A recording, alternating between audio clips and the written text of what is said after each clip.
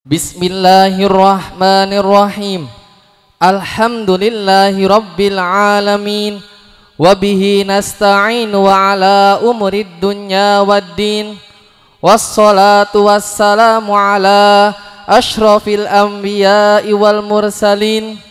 Sayyidina wa maulana Muhammadin Wa ala alihi wa sahbihi ajma'in wa naqulu ja'anallaha wa iyyakum minal a'idhina wal faizin wa antum kulla amin bi khairin wa afiyatin amma ba'du.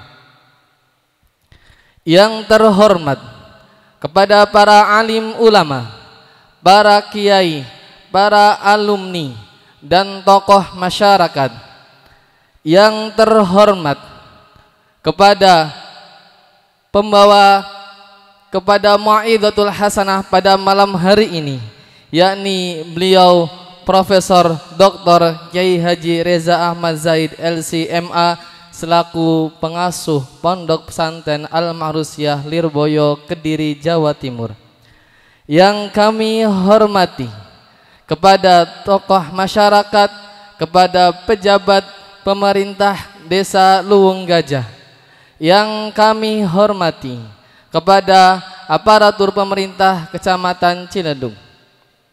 Dan yang kami hormati kepada segenap tamu undangan serta para hadirin wal hadirat yang berbahagia. Puji syukur kehadiran Allah Subhanahu wa taala karena atas limpahan rahmat taufik serta hidayahnya semata pada malam hari ini Ahad 8 Syawal tahun 1443 Hijriah yang bertempat di Desa Lowong Gajah dalam rangka Majlis Muasalah Keluarga Santri Ciledug di Pondok Pesantren Lirboyo, Kota Kediri, Jawa Timur. Kita dapat berkumpul bersama. Semoga berkumpulnya kita di sini mengantarkan kita kelak di yaumil kiamah juga dikumpulkan Allah Subhanahu wa taala. Amin amin ya rabbal alamin. Salawat beriringkan salam. Semoga tetap terlimpah curahkan kepada junjungan alam, tauladan umat manusia, rahmat bagi seluruh alam. Baginda Nabi Yuna Muhammad sallallahu alaihi wasallam beserta para sahabat dan seluruh pengikutnya sepanjang masa. Serta semoga kita semua termasuk umatnya yang senantiasa mengikuti ajaran-ajarannya dan mendapat syafaatnya kelak di yaumil kiamah. Amin amin ya rabbal alamin. Hadirin wal hadirat tamu undangan yang kami hormati. Perkenankanlah kami selaku pembawa acara akan menyampaikan runtutan acara Majlis Muasalah keluarga santri Cenedung di Pondok Pesantren di Lirboyo, Kota Kediri, Jawa Timur pada malam hari ini. Acara yang pertama yakni pembukaan. Pembacaan ayat suci Al-Quran menempati acara kita yang kedua. Dilanjut dengan sambutan-sambutan menempati acara kita yang ketiga.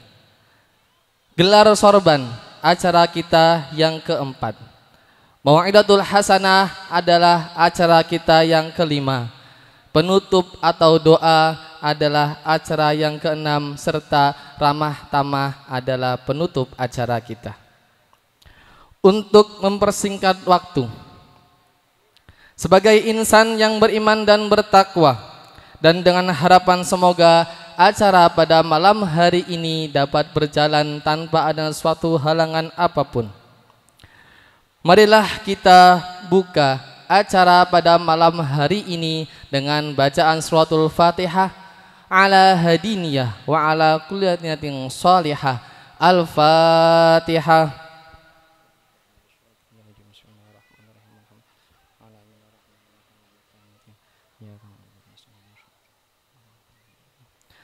Disampaikan terima kasih. melangkah ke acara yang kedua yakni pembacaan ayat suci Al-Qur'an yang kali ini akan dilantunkan oleh Bapak Ustadz Fathur Rahman kepada Bapak Ustadz Fathur Rahman waktu dan tempat kami persilahkan